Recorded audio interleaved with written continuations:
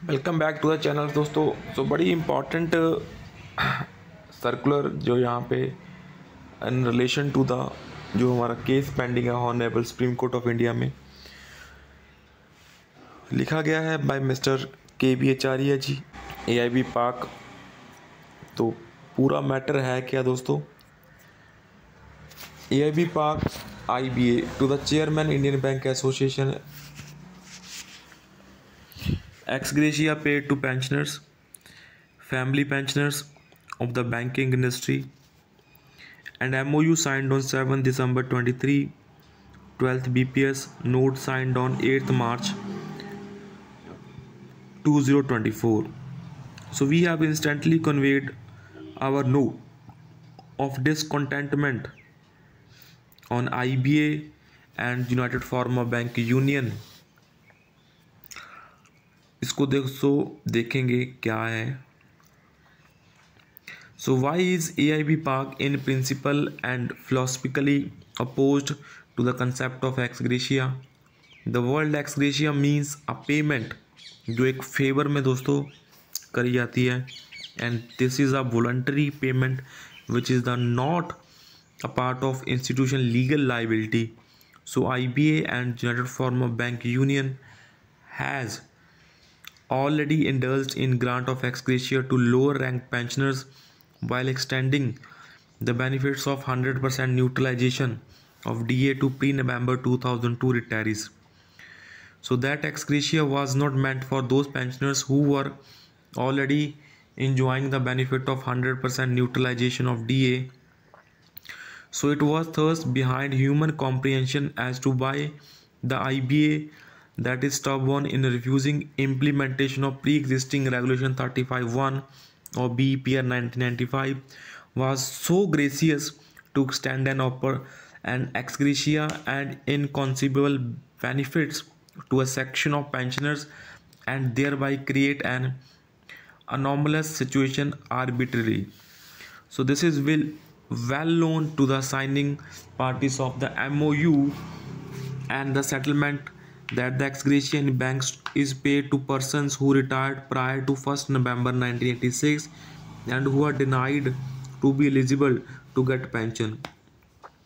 So in the given circumstances, ex gratia is now paid to pre-1986 retirees, pre-November 2002 retirees and all the pensioners who have retired up to 31st October 2022.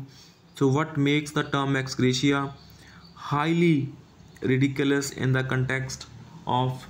bank pensioners is that there has been no scientific basis to determine its quantum and applicability to the retirees of different periods. So the least expected from IBA was to avoid ex gratia and the consequential illegality and irrationality. AIBPARC and CBPRO through endless correspondence with IBA have repeatedly insisted that Regulation 35.1 Appendix 1 duly amended in the year 2003 and gazetted by Government of India provides us the updation of pension. And what was required to settle the issue is the is that IBA should have notified the updation formula in respect of each BPS as done in case of RBI and NABARD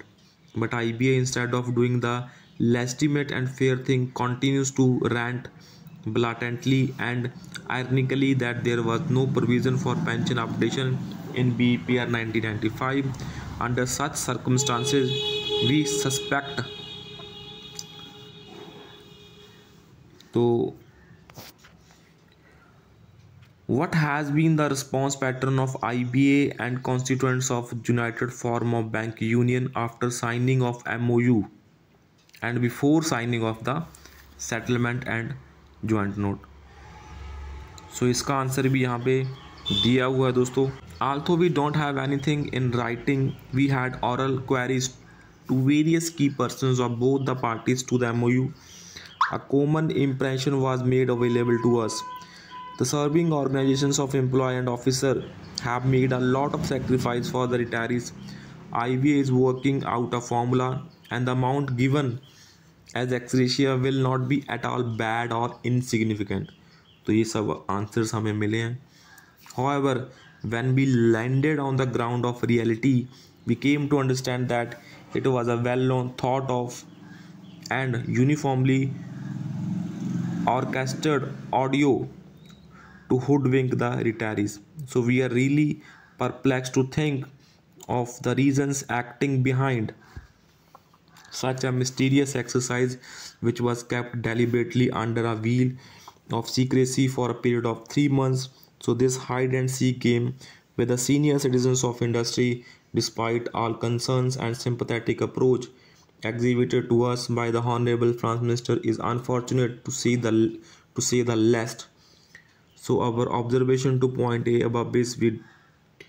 did not want any sacrifice for ourselves because if pension updation was allowed as per spelled out provisions of BPR, then the entire amount could have been charged to the existing corps which is which in our opinion is self sufficient other observation to point number b above is we are curious we are curious to know if the process of calculation was done unilaterally by IBA or the constituents of United Farmer Bank Union had any say in it. So our observation to point C, IBA was surely aware that it has been a rude mockery for a huge number of retirees who have superannuated on or after 1st of November 2012 and hit by non-reckoning of special allowances for computation of pension so special allowance तो बहुत बड़ा issue है दोस्तों If any issue is sub judice, can there be no bilateral agreement between IBA and United Farmer Bank Union over the said issue? Is it not a lame excuse? So इसका जो answer यहाँ पे दिया है दोस्तों आप पढ़ सकते हैं you could have resolve the issue by implementing resolution thirty five one in letter making way for the petitions in the Honorable Court to become infructuous. What further issues of discriminations have been created in the process? So in the settlement, there is a mention that the new dearness relief calculation formula is applicable for those who retired after 1st November 2022. So this has give rise to two set of DR calculation formulas based on the respective dates of retirement and it has been done with a further few months after removal of discrimination that existed between pre-November 2002 retirees and the subsequent one. So it needs an immediate examination at your end and rectification measures be taken so we have already drawn your kind attention to the aforesaid subject by our earlier letter dated 14 March 2024 so so, दोस्तों यहाँ पे आप देख सकते हैं काफ़ी lengthy circular है but we have done our best review of ex gratia is already due वो आपको पता ही है इसकी वीडियो हम लोगों ने ऑलरेडी यू नो शेयर कर दी है So this is the circular that has been uh, written by Supita Sarkar ji, Mr. K B Acharya ji. So kindly read जो भी uh, बचा है इसमें. So with this, that's all for this session.